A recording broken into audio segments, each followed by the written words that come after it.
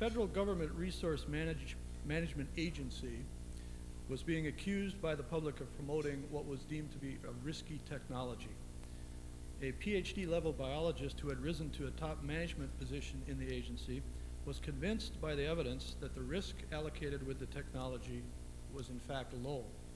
In apparent exasperation, he responded to the public criticism of his agency's decision making with the question, why doesn't anybody believe us anymore? Addressing this phenomenon of rising skepticism, lack of trust, controversy, and even overt conflict in American society regarding issues surrounding public health and environmental safety.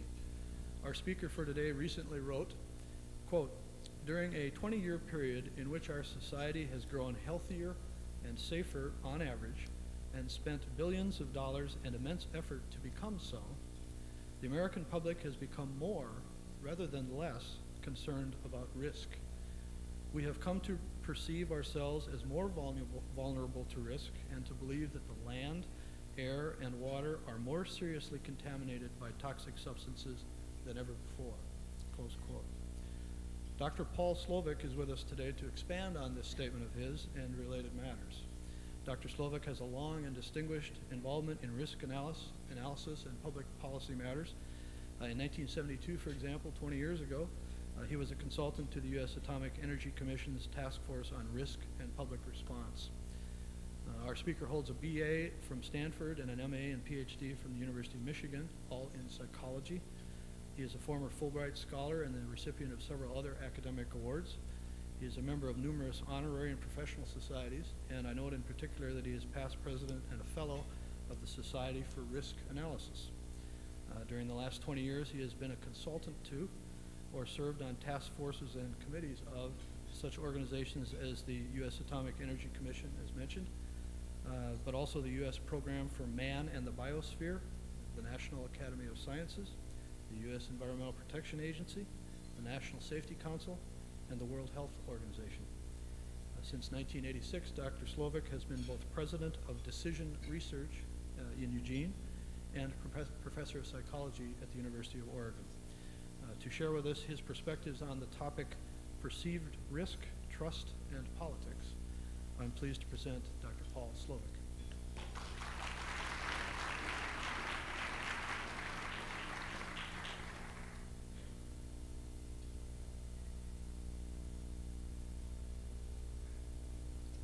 Thank you very much. I appreciate that nice introduction.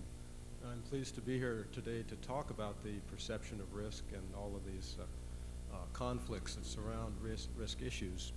Uh, you'll have to excuse me, I've got a bit of a cold uh, this morning, picked up by doing some rather irrational things last weekend, which I won't go into.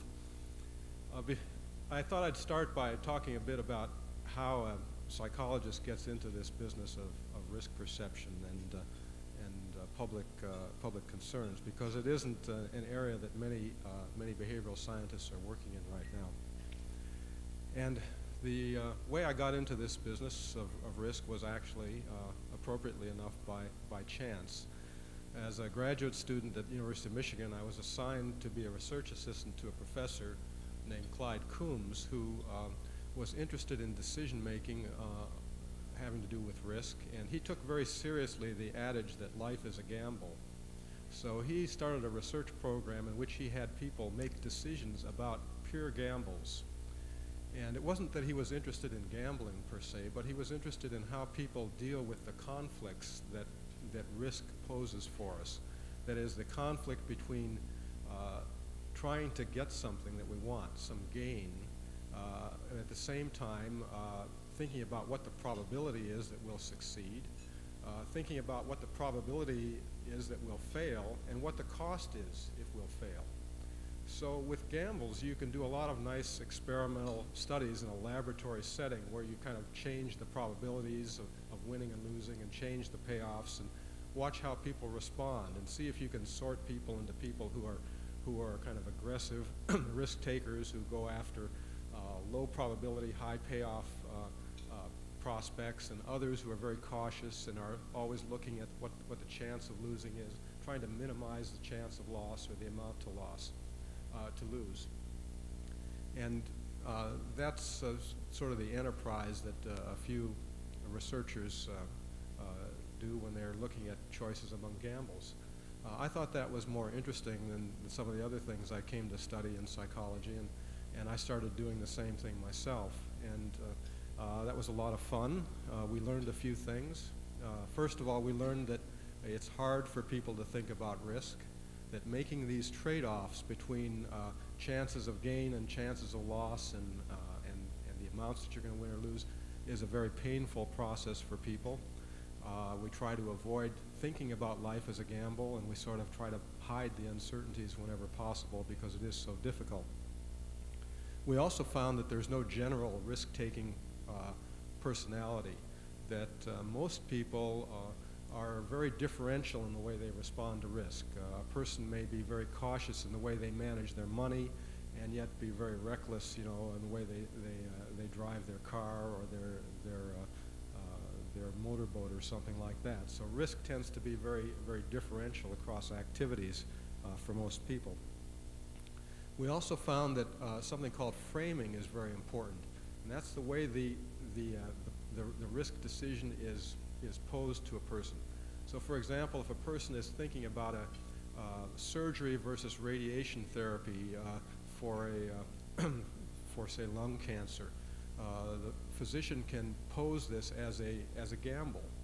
Uh, surgery has uh, some immediate chance of mortality on the operating table, but if you survive the operation, you usually have a longer life expectancy. Radiation therapy doesn't have that immediate risk of death, but it doesn't do as well in the long run. So it's, a, it's quite a difficult uh, uh, decision in, in that case. And what was found in some of these studies is that if you, if you present people the uh, statistics of this gamble in terms of survival rates, uh, you get a very different response in terms of which they choose than if you present it in terms of mortality rates. Uh, the fact that uh, surgery has a 10% um, mortality rate and radiation therapy has 0% is very powerful uh, if you're talking about mortality rates. If you switch that and talk about 90% survival versus 100% survival, that difference doesn't appear as large to people and they're more willing to, uh, to, uh, to go with the surgery. So very subtle factors affect the way we respond to, to risk in these situations. After a few years of studying gambles, uh, we decided that we needed to get away from the college campus and, and uh, try to, to uh, look at, at risks that people took with larger amounts of gambles, bigger gambles. And we were fortunate to get a chance to go to uh, Las Vegas and set up an experiment on the floor of the Four Queens Casino. Uh, this was 1969. It was just a pure fluke that we got this opportunity because uh, uh, casino managers don't usually allow academics to, to take up valuable space on their floor So we set up a, uh, a roulette wheel and a computer, and we, we started to, to try to uh, play these gambling games with people down there. And that was a rather uh, uh, uh big flop, actually, uh, because what we found is that the people down there really don't like to think about about the risk in the gambling. When you, when you go down there, you go down there to have fun or to, you kind of turn, you want to turn your mind off, and there's a lot of habitual behavior, uh, which it doesn't involve hard thinking about you know, risks and benefits. And as a result, people uh, didn't like the games we were proposing for them to play, even though they were fair games, you know, no house advantage. Uh, people didn't like to play them. So we were rather um, uh, dismayed about that and, and went back to our laboratory. And we probably would have stayed there doing these little studies on gambles uh, forever if it hadn't been that we were fortunate enough to have attracted the attention of a, of a well-known geographer named Gilbert White, who had spent his career uh, thinking about how people uh, behave in the face of natural disasters like floods and earthquakes. And he had heard we were studying risk and came up to Eugene to, to visit us, and he had a lot of questions for us, uh, such as um, why is it that, uh, that people uh, you know, are worried about living near a nuclear reactor, but they, they really couldn't care less about, you know, uh, living on a floodplain, and they really uh, don't worry as much as they should about living in an earthquake zone. And when an earthquake or a flood occurs, uh, after the uh, damage is cleaned up, they always, you know, rebuild on the same site and, you know, really uh, are very casual about it. Uh, he had a lot of questions like that, none of which we could answer on the basis of our previous studies of gambling. And that was a bit embarrassing, but it was also intriguing. So we started to, to work with him a bit on perception of risk from natural hazards. And this was in the 70s, and the environmental movement started to pick up, and it wasn't long before we got dragged into looking at issues of nuclear power and, and chemicals and all the rest. And uh, that sort of sealed our fate, and we went on this course now looking at the what we call societal risk-taking, which really cuts across a wide range of, of hazards, trying to understand uh, how people think about these risks and what that means for, uh, for our society.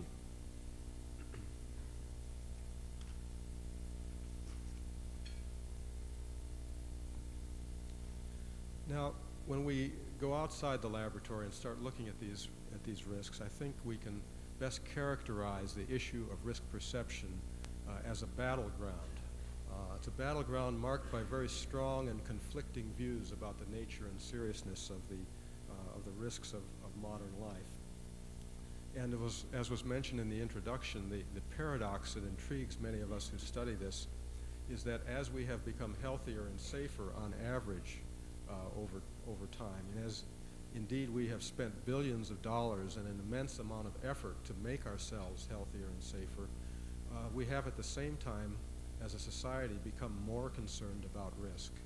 We feel more vulnerable to uh, all sorts of, of hazards and uh, believe that the land, air, and water is more contaminated than ever before. Uh, uh, an example of, of the, uh, the perceptions and attitudes that people hold comes from the fact that if you ask people whether there is more or less or about the same amount of risk today than there was 20 years ago, say from chemicals, uh, about 80% of the public will say that there's more risk today uh, from chemicals. At the same time, if you ask them the same question about another type of chemical that uh, they come in contact with very frequently and which has some rather serious uh, potential hazards, namely uh, prescription medicines, they have a very different reaction to that. They don't have anywhere near the concern about medicines as a class of chemicals as they do about the generic uh, uh, class of chemical products. And I'll get back to that, uh, this inconsistency in a minute. another way to get a sense of public, uh, public perceptions is to, is to go back to psychology's earliest days and, and use a word association uh, test, as we've done in a lot of situations. So, for example, suppose I ask you to, to you know, what's the first thing that comes to mind when you hear the word chemicals? Stop and think for a second. This is the first thing that comes to mind, chemicals. Well, I've probably biased you already because we've been talking about risk, but it, it's, it's sort of amazing that uh, the degree to which the dominant reaction that people have to the word chemicals is the word danger danger or some synonym like uh, uh, deadly or uh, poison, toxic, Bhopal, so forth. The, the terms relating to benefits uh, rarely appear, or at least they're much lower in the hierarchy of our associations. And it's also interesting and related to this kind of perception that, uh, that about 75% uh, of the public will agree with this statement to the effect that they do everything they can to avoid contact with chemicals and chemical products in their daily life. Now, we get this response. We don't fully know what they what they mean by that since chemicals are, are everywhere in our environment and, and uh, uh, we really can't avoid them or should we want to avoid them. But this is kind of the reaction that, uh, that exists today uh, that, that is very, uh, very puzzling political scientist named Aaron Wildavsky wrote about this, uh, this type of concern a few years ago. Uh, and let me uh, quote from Wildavsky. He said, uh, how extraordinary, the richest, longest lived, best protected, most resourceful civilization with the highest degree of insight into its own technology is on, the, on its way to becoming the most frightened. Chicken Little is alive and well in America. Is it our environment or ourselves that have changed? Would people like us have had this sort of concern in the past? Today there are risks from numerous small dams, far exceeding those from nuclear reactors. Why is the one feared and not the other? Is it just that we are used to the old, or are some of us looking differently at the, essentially the same sorts of experience? Well, these are the kind of questions that we've tried to address in our, our research on, on, uh, on risk perception.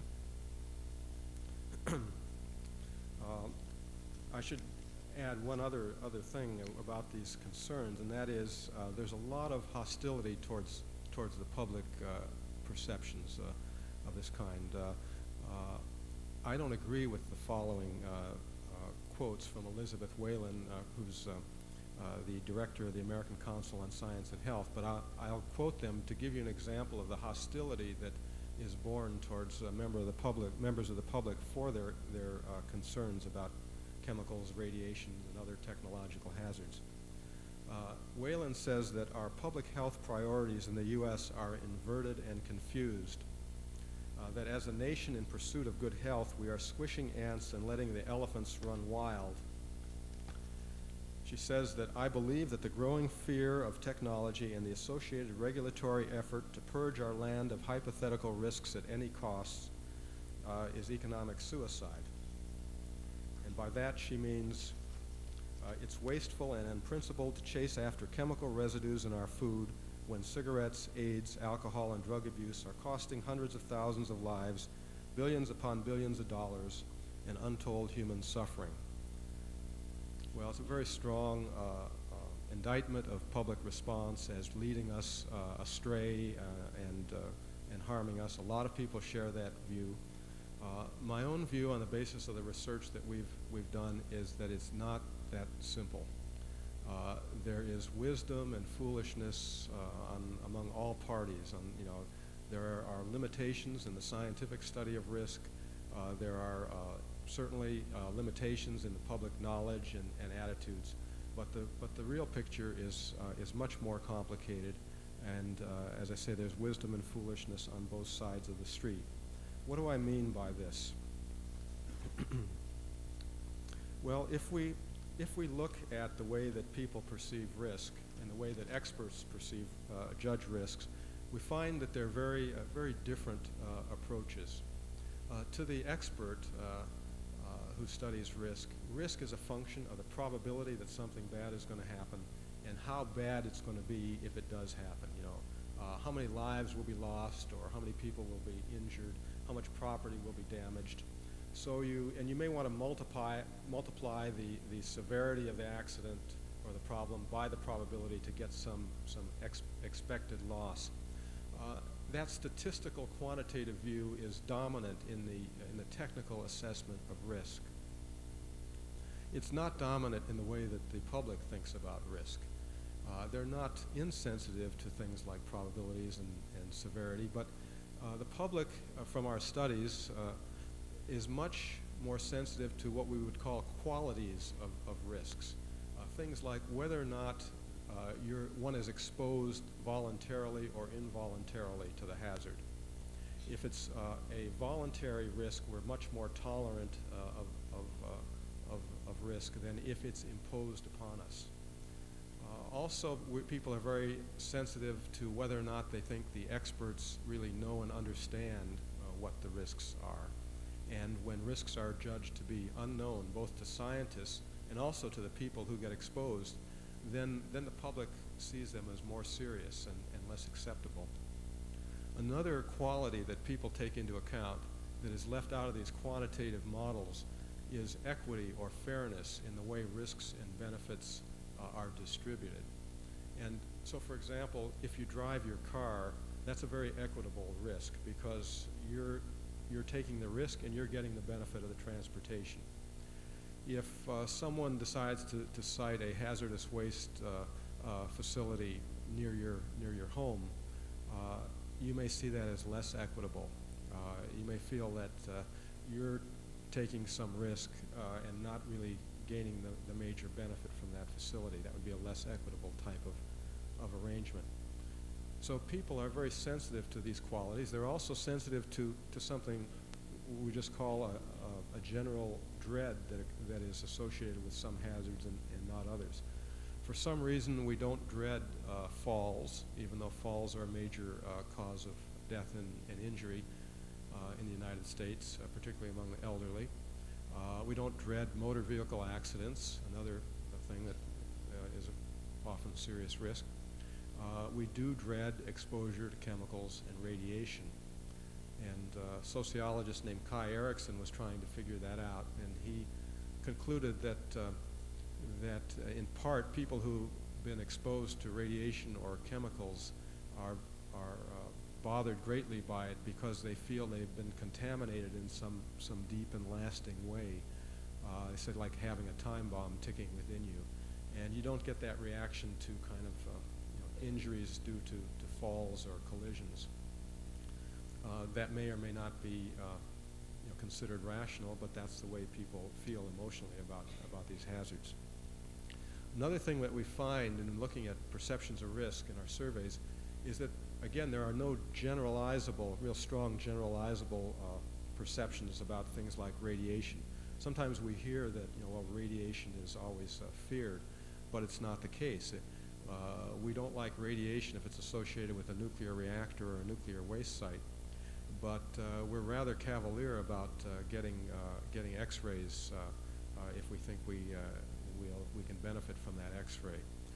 we're also rather unconcerned about radon gas in the home, which is another form of radiation that has been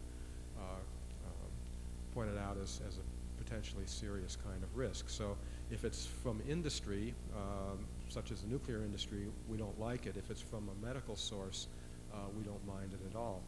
The same thing happens with chemicals, exactly the same dichotomy. If, it's, if the source of exposure is from industry, as in some sort of you know, a chemical plant or, or um, product or a pesticide, uh, we don't like it. And we have very low acceptance uh, of, of, risk.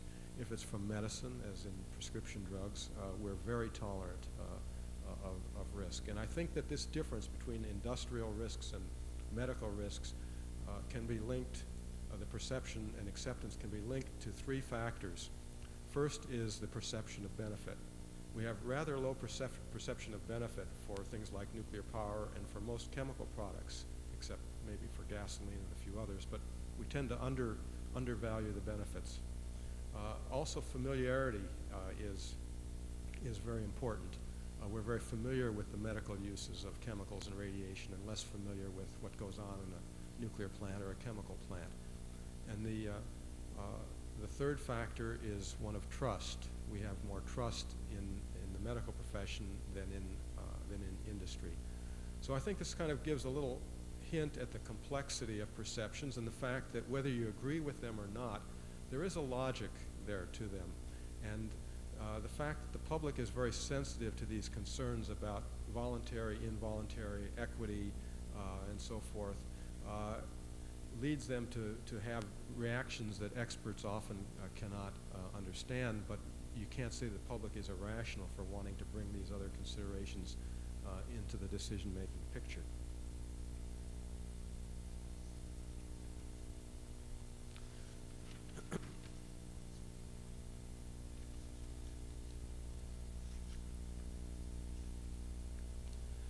Let me go through a few factors just to summarize why I think we're getting more concerned about risk uh, all the time, despite all the effort that's being done to, to reduce risk. Uh, first, uh, one factor is that we have greater ability to detect uh, minute amounts of, of uh, a chemical substance in our air or our food or our water. This is due to this great advances in analytic chemistry, so we can detect, you know, one part per billion or even per trillion you know, molecules of, of these chemicals in, in, in substances. And once we detect them, and we know that at lar in large amounts they may cause cancer in, in laboratory animals, then the, the tougher question is, what does that mean uh, for the uh, eating the food or breathing the air or drinking the water? Should we worry about it? That's a question that we can't answer quite so readily. Second, uh, the very fact that, that the technologies of today are new and unfamiliar makes us more concerned about them it's natural to be concerned about things that you're, uh, you know, that you're not familiar with. And in fact, when the automobile and the steam engine were introduced uh, way back, people were, were frightened of them as well. Uh, but, uh, you know, you could see how automobiles and steam engines performed, and over time we saw that they, you know, were safe enough and they gave us great benefits, and we got very, very used to them. I mean, if anything, we've gotten uh, perhaps too used to the automobile. But if it's a chemical or radiation, we can't adjust to it so easily, especially if we're worried about harm that takes place, you know, uh, may take place uh, 20, 30, or 40 years in the future. We can't tell by our senses, you know, that this is really safe or not. We have to, uh, we have to rely on experts uh, and, and trust experts uh, in order to know if it's safe or not. The adaptation process seems to be much slower. Third, we've experienced uh, a fair number of serious problems uh, over the years, whether it's uh, nuclear accidents like Chernobyl or Three Mile Island or, or uh, chemical spills like at Bhopal or the Exxon oil spill and numerous other, the Challenger accident and so forth, and, and many other lesser kinds of events which, which certainly uh, show that there's a reality to, uh, to risk in, you know, in, in modern life. We, it's not all hypothetical. And when these events take place, they're surrounded by an immense amount of, of media coverage, uh, bringing us all the, all the gory details. And at, at the same time, we also have, uh, have a, uh, a rise in, in special interest groups, environmental groups and other interest groups, which if the media doesn't bring problems to our attention, these groups uh, bring problems to our attention that they think we need, we need to know about. So we are uh, being bombarded with information about the risks and problems of, uh, uh, of today's life. Another factor, as I alluded to earlier, is that the benefits from technology tend to be taken for granted, and when we see very little benefit from something, we're naturally uh, uh, not eager to take any, any risk, no matter how small. We're also being told more and more today that we have the ability through our lifestyle to control much of the risk that we, that we face. Uh, so we should watch our diet and exercise and so forth. Uh, and it may be that that uh, this, will, this makes us less tolerant of those risks that aren't under our control, that are imposed upon us. So if someone's putting something in the water supply or the water is being contaminated uh, in a way uh, that uh, is uh, worrisome and we can't control that, we're less tolerant about it because we're told that we really should, you know, we really are in control of so much. Uh, finally, there may be real changes in the nature of, of today's risks. Uh, for example, may, many people believe there's greater potential for catastrophe today uh, uh, than in the past due to the uh, complexity and potency and interconnectedness of, of uh, technological systems and the widespread exposure of millions of people to new substances and technologies. Uh, so, for example, the sweetener uh, aspartame, the NutraSweet, came out a few years ago, was so widely adapted that it's probably now ingested by close to a billion people every day. Now, if there was something missed in the testing of, of this substance, uh, you know, as there was in the testing of the drug thalidomide a long time ago, because the exposure is so great, the potential for, for problems uh, could be quite serious. I'm not saying that there was anything missed, but when you have that level of exposure, uh, the potential for catastrophe does, uh, does increase. Let me turn now just lastly to the issue of, of trust, which I've alluded to. Um, Chauncey Starr, who's one of the uh, pioneers in the nuclear industry, uh, spoke about this, this issue, and he, he, uh, he alluded to the, the uh, fact that we're very uh, unconcerned about um, having uh, zoos in the midst of large cities with wild animals such as tigers and lions, very dangerous animals. And, somehow we've, we've uh, come to trust the, uh, the zookeepers and the structures that, that uh, uh, the barriers that exist, and this is not a risk that, that anyone really worries about. And in this light, he said that acceptance of risk is more dependent on public confidence in risk management than on quantitative estimates of risk. And I would agree with that very strongly.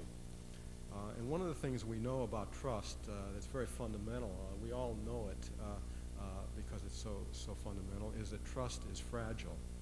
Uh, Abraham Lincoln once, uh, once wrote that uh, if you once forfeit the confidence of your fellow citizens, you can never regain their respect and esteem.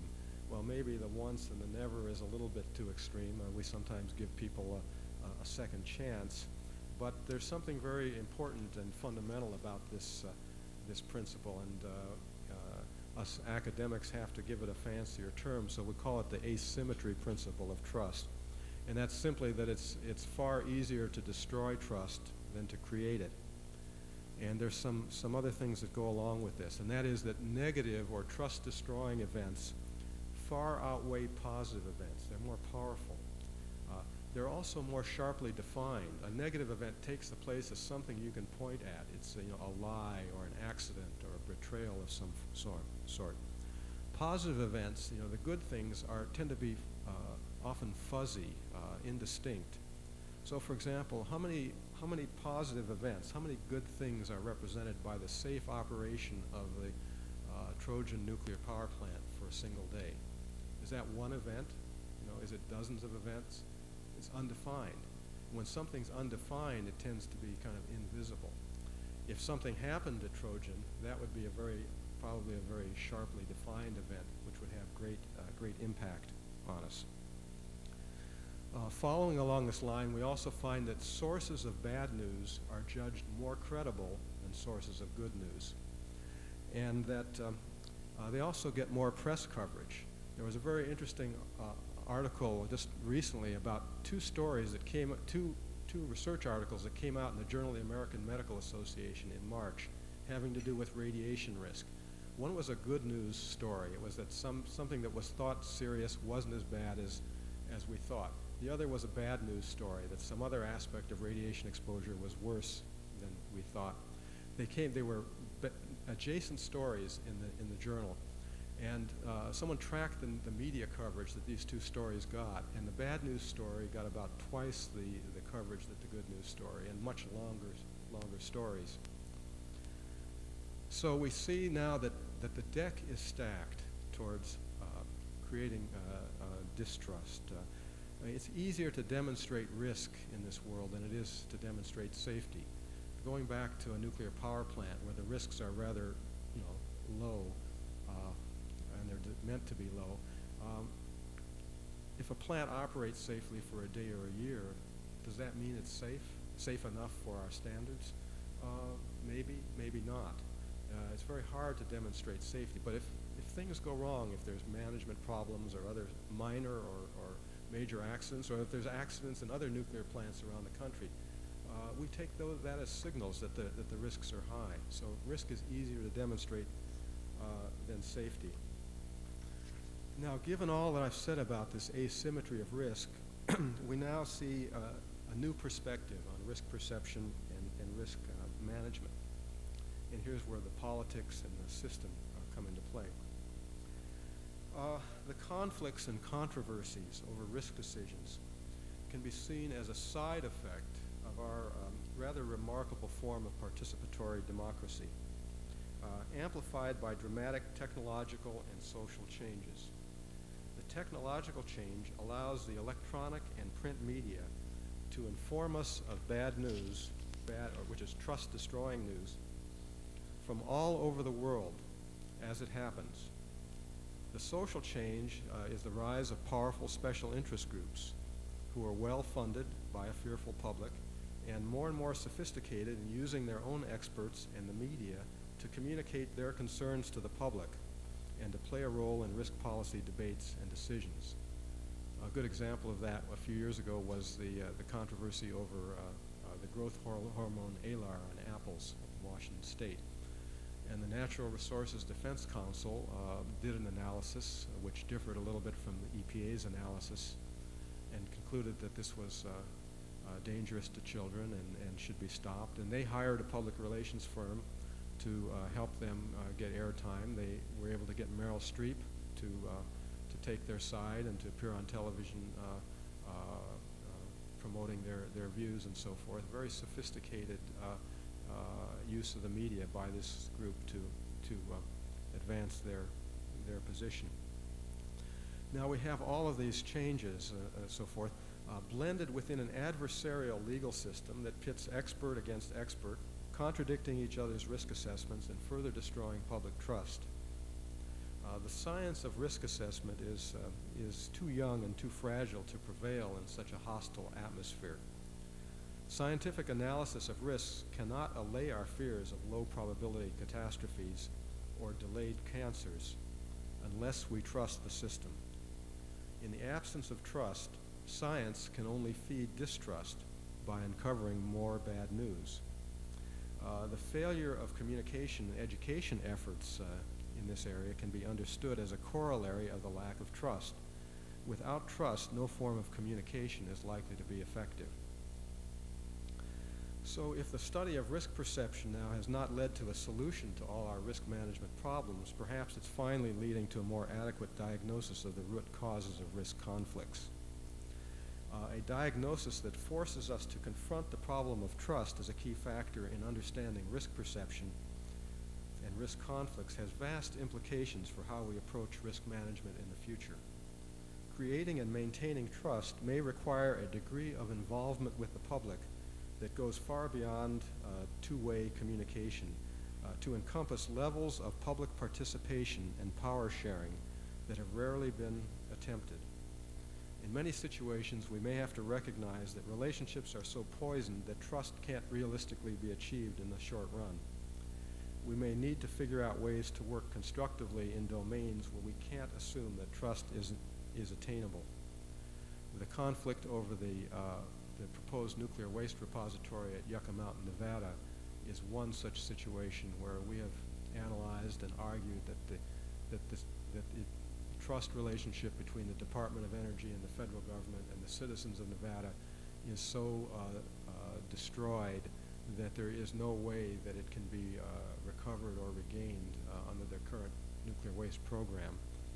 Therefore, there will be no uh, repository in Nevada uh, except if the federal government decides to put it there by force and to strip the states of its rights. Uh, and that has, uh, that's an example of, of what happens when you fail to be sensitive to the, the trust, trust issues. Well, some may view this analysis as a depressing one. Uh, I don't.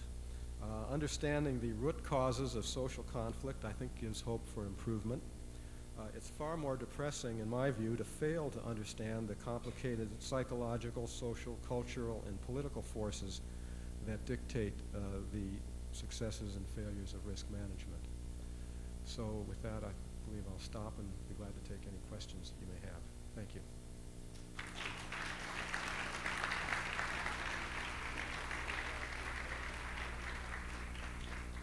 Thank you, Dr. Slovic. Our first question will be from our board host, uh, Susan Stone.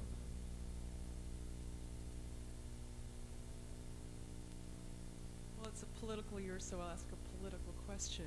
If you were the environmental president, what would your top priorities be?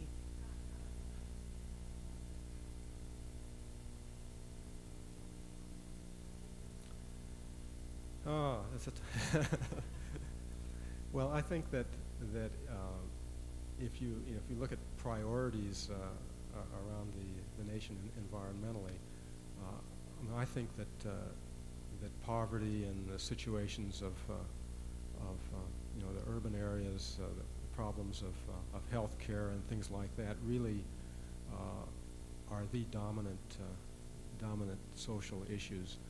Uh, this is not to put, take anything away uh, from our usual environmental concerns of, uh, you know, chemicals and radiation. I mean, they are, you know, important.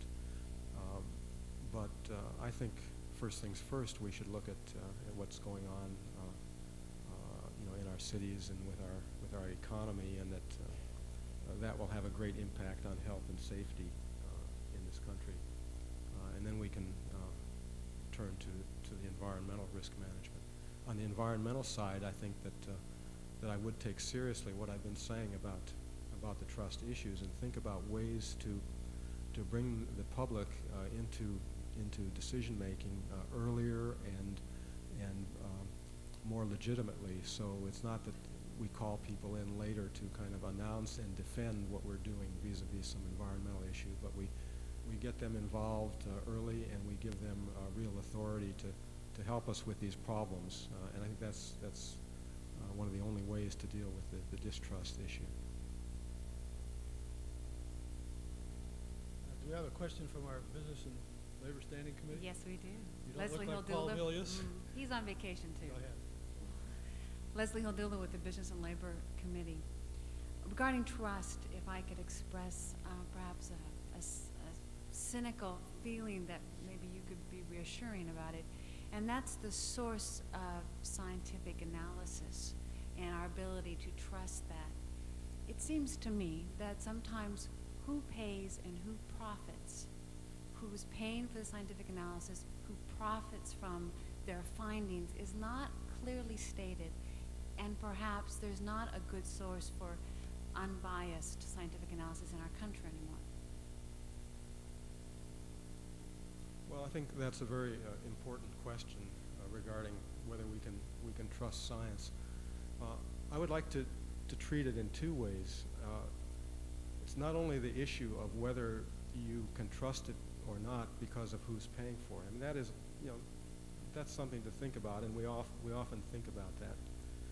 But there's something more fundamental that's a problem, and that is with regard to, to risk from chemicals or risk from uh, complex systems like nuclear reactors or systems that have to be safe for thousands of years like a nuclear waste repository. And, and that is that science doesn't have all the answers that we would want them to have. That the, that the science uh, is limited uh, itself. How do we find out about the risk from chemicals? Uh, we've got, we've developed the science of toxicology and epidemiology and, and some related sciences. We put uh, huge amounts of money every year into doing toxicological studies. You know, we take large groups of, of, of rats and mice and other animals and we, we dose them at high doses with, with chemicals and we watch what happens and we try to predict what that means for humans uh, exposed to much smaller amounts of these chemicals for much longer periods of time in the context of many other chemicals that the animals weren't uh, exposed to. And that's a very clumsy, indirect science. We don't, we don't know enough about the mechanisms whereby molecules of a chemical interact with, with the molecules of the body to cause different kinds of harm. And lacking that kind of mechanistic knowledge, we have to rely on these very, these very crude animal studies, which are subject to great uh, debate and, and conflict in the adversarial arena that we work out these issues. So I would say that part of the picture is that the science is weak. Then you can you know, also get into the issues that uh, in the adversarial arena, we, you know, we, we hire you know, experts on all sides and, and uh, expect them to say things that, that uh, support uh, the side that is, uh, is paying their, their salary. And that certainly uh, occurs, and we find that the, that the experts are contradicting each other. And when, when the public sees experts arguing on both sides of the issue, they have to throw up their hands and wonder, you know, well, does anyone know what's going on here? You know, trust? So, yes, what you say is a problem, and it's uh, it's augmented really uh, by the fact that the science is uh, is often inadequate to begin with. Uh, we'll now go to questions from City Club members uh, from the floor. As Bill Esch used to say, just remind those of you who are going to ask questions that they end in a question mark. Professor, I'm Greg Kafoury. Uh, there's no one in line behind me. My question is a little longer than I hope you'll bear with me.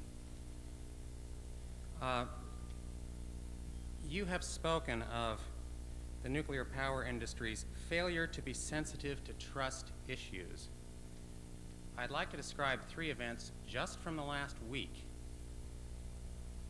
which I'd like you to comment on. First, we learned that at Hanford, the government now no longer even pretends that it can assure us that the waste tanks will not explode.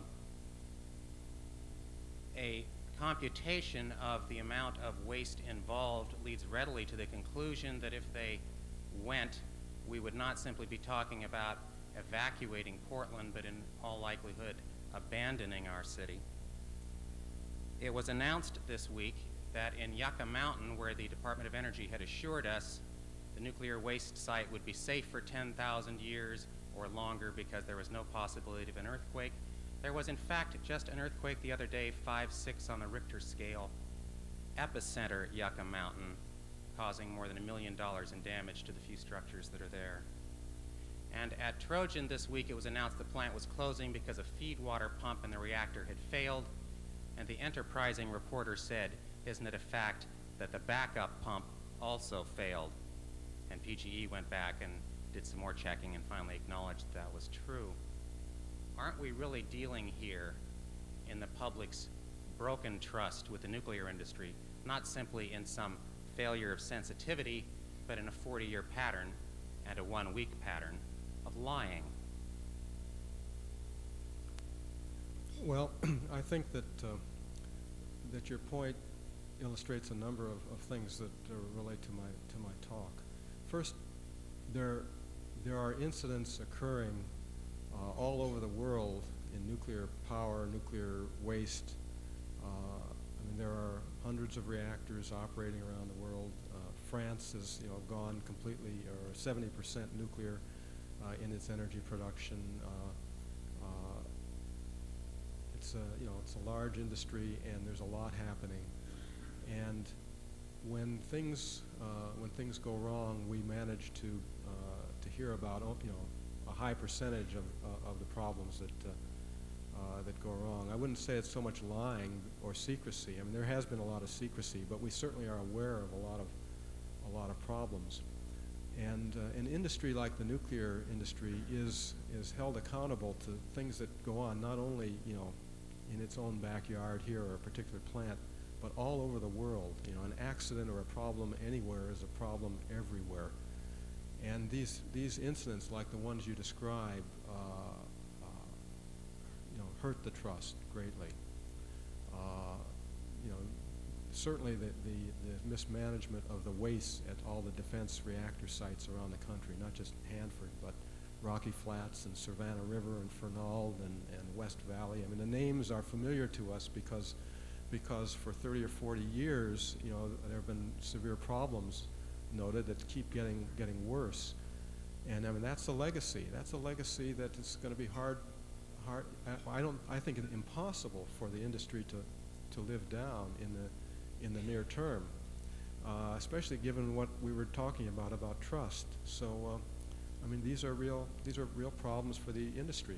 On the other hand, uh, many people say that uh, you know, look at the number of accidents in the in industry. We generate a lot of power you know, how many accidents, uh, killing people have there been? Uh, not, not, uh, not many or, or even any uh, directly. Look at the, the risks from fossil fuels. Look at the risks from generating energy with hydroelectric power. Uh, you know, there's no risk-free source of energy.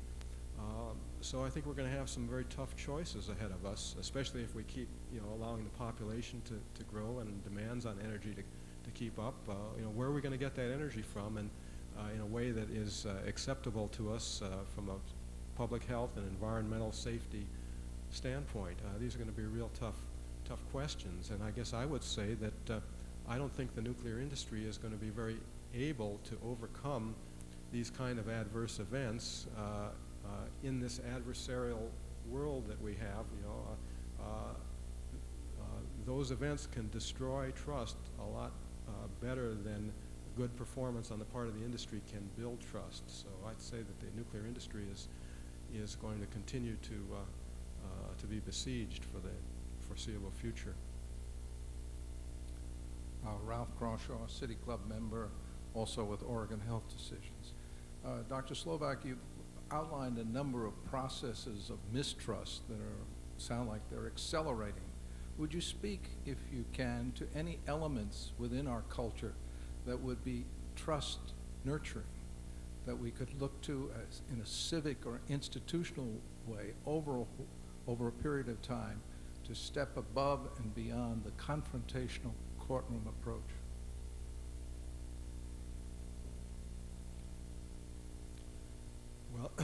it's obviously an, an important uh, question, and I feel less able to point to things that can that can uh, create trust in this kind of uh, situation. Uh, one of, we have a research project on, on this topic, and we hope to, to learn this. But uh, I would say that, that one of the things that comes through in this, in this work is that, uh, uh, that women are more trusted uh, than men, and that, and that industries and activities which are seen as more open and and accessible and oriented towards women are trusted more than, than, uh, than uh, industries and activities and professions that are, are male dominated. And maybe we're going to see, a, uh, you know, rise of uh, women in politics for this very, very reason. But uh, I would say probably power sharing at this point. Uh, that you know, uh, we we seem to be having trouble with the model of of authority that says you know we've got the experts on one side, they have the answers, and and you've got your elected representatives, and let them confer with the experts and decide what's best for us. We seem less willing to uh, uh, to do that now because of these, you know, our trust has, has, has been betrayed, and we want to get into the act. Uh, we've got a society that, uh, you know, that gives people more and more capability and, and avenues for intervention than virtually any other society, and I guess we're going to see that exercised uh, over the over the future, and, and we're going to have to be tolerant. If you're, you know, in, in business or industry, I think you're going to have to be tolerant of the fact that you're going to have uh, have to bring in the public, uh, you know, to the table and and early on and get them involved and have them participate and buy in and maybe have even authority to you know to shut you down or kick you out if they don't like what you're doing. It's not necessarily an efficient way to do business, but uh, it may be the only way to, to deal with this uh, trust issue. Ray Polani, City Club member. Uh, Dr. Slovic, I think you mentioned that one of the things that is necessary, of course, is citizens' participation. And it seems like in the last uh, 10 to 15, 20 years, there has been an increase in citizens' participation. Uh, some of it mandated by federal legislation in, in situations. Uh, and initially, it, it was taken as, as a serious citizens' participation, and, and I think from the part of the citizens, there was a feeling that they were listened to and, and uh, that, that their conclusions were adopted, perhaps, and followed. But eventually, I think the name, the game seemed to shift, and uh, Citizens Advisory Committee be became more of an orchestrated type of thing, where where the people that would participate were chosen, uh, and and the result was somewhat uh, predetermined, and if by any chance it did not work out that way, uh, it was disregarded. So um, I think there's a lot of skepticism around about what the extent of citizens' involvement, the kind of citizens' involvement, and the attention paid to the citizens' involvement. How do you feel about it? Well, I would agree with you that uh, that it's often a perfunctory kind of thing. That you know, it's in the it's in the rules and regulation. We have to have a public hearing. Let's do it. Let's get it over with, and then let's get on with our our business. And uh, that if it's done that way, uh, it's very easy for the public to recognize that that's what's going on, that they're just going through the motions, and it's not, it doesn't serve the, you know, the, the broader purpose of, uh, of uh, dealing with the, you know, the, the trust issues. So uh, to the, you know, if we keep doing that, nothing's going to change. Uh, we have time for one last very quick question. Vivian Solomon, City Club member. In the adversarial context, whether it's in the courtroom or in deciding how to vote on a ballot issue, when the public is presented with experts who do disagree and the public must choose one or the other, what factors are most persuasive in breaking the deadlock and causing the public to choose one expert over the other? I think when, that when that happens, people rely on more fundamental uh, worldviews or ideologies that they hold. Uh, some people uh, tend to believe that the, you know, that the earth is uh, uh, abundant in resources and very robust and it's meant to be, you know, uh, used for, by humans for their welfare. And other people believe that the earth is fragile and, and limited and on the verge of, of destruction. And that's one type of general orientation that people have to the world. And that will lead them to choose sides. Or I guess what I'm saying is that there'll be personality and political factors uh, that will lead them to side with one, one expert or another. Uh, and uh, you know, it won't resolve on the science because the science and the technical issues are being shown to be in dispute and conflict, and you can't work that through. So you, you know, you either, you know, if you're if you're pro-industry or pro-business, you'll go with with that expert. If you're pro um, something else, you'll go with the other expert uh, that's the way you'll decide it. It's about 1:15. Uh, I think it's customary to often comment that these are thought-provoking sessions. Uh, It strikes me that this is very much the case today. This is a subject matter we've all probably thought about in bits and pieces, but it's, uh, a very interesting, uh, uh, way to think about it. i Dr. Slovic, we appreciate your comments. We'll see you next week. We're adjourned.